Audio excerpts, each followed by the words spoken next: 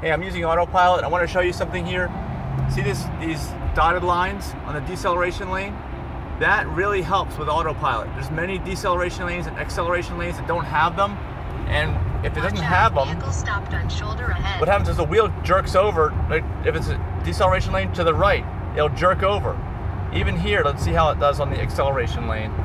See, this one's got some dotted lines. A lot of them don't have lines at all. And see here, they end here. This is where it gets a little confused. It, yeah, see how it drops off a little bit? It got confused, but it'll recover.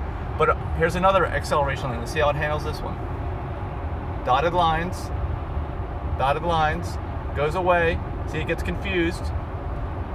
Still confused, but it's hanging on.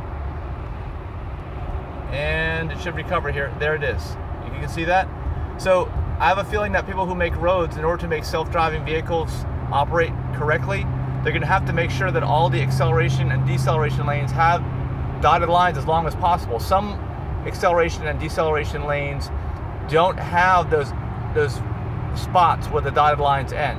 They have dotted lines the entire length, and that operates smooth as silk, smooth as glass, smooth as whatever you want to call it. In my opinion, that's the way all acceleration and deceleration lanes should be. They should have dotted lines like close. See how these dotted lines are far away? They separate regular lanes. Well, the close, real close, smaller lane markings, that's what they should have. And unfortunately, there are many acceleration and deceleration lanes that don't have any lines at all. They just open wide to like a, to what the computer appears as a double wide lane.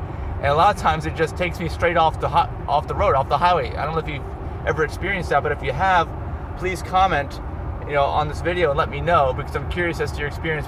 But to me, those are just flat out dangerous. It seems to me that any of those need to be repaired and lines need to be put in them as soon as possible. And I don't know if that's a state thing, a local thing, or whatever, but it should be a national thing if these if self-driving vehicles are going to be allowed to um, you know take over the streets. So give me your uh, your experiences on that. Any any disastrous situations? I hope not, but I can see that being possible. I've had to save myself on autopilot on some of these roads that have the acceleration and deceleration lines not marked. Let's check out this. This is a weigh station. This is marked the whole way. See, look at this. This is what I'm talking about. The whole way. See that? This is the way it needs to be, and it's fine. See, it's it's it's not noticing anything different. The computer thinks it's tracking totally straight. But like I said, if, it, if that was wide open and there was no lanes, imagine what it might have done. Let's see. I have a feeling on this one it'll probably be the same thing. It'll, if it was marked all the way on the deceleration, and it'll probably be marked all the way on the acceleration. Let's see. Yeah, it is. Uh, see, what ends here? It ends again. So why why the inconsistency? I don't know. I'm on the same road. US 60, Washington. Obviously, there's no plan in place that's like a a national plan. That's what's needed. Oh, sorry about Waze. This keeps going. That's what's needed. Some kind of national plan. Some kind of national standards on this, because obviously on the same Interstate 64 here, heading west in towards Richmond, there's inconsistency all over the place in the way those things are handled. And Actually, I'm going to get off here. And look, I'm going to get off here because I'm going to 295 watch. It'll actually make a lane change into the deceleration lane because it's marked. See? See here? It's marked. Let's see. Will it? Will it change? Yes, it will. Excellent. And it was marked, so it didn't get it didn't get uh, flustered or anything. Anyway, that's the way I think that's what should happen. A national standard for these acceleration and deceleration lane markings. What do you think? Exit right to exit 200, I-295, US 60, Washington, Rocky Mount, North Carolina. Give me some comments in the below. State to the right to I-295, North Washington. Give me some comments below. And look, I'm actually taking this exit with autopilot, and I can because of the lane markings and because it's a limited access highway too.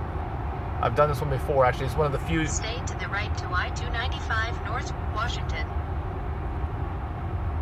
Oh, look at this. This is a little hairy. This guy looks a little impatient. We're still doing autopilot just to show you that it can work on an on a interchange. I'm going to try to change lanes here in the interchange. I got to get over anyway. It did that really well. Increase the speed. This is like a dual purpose video now.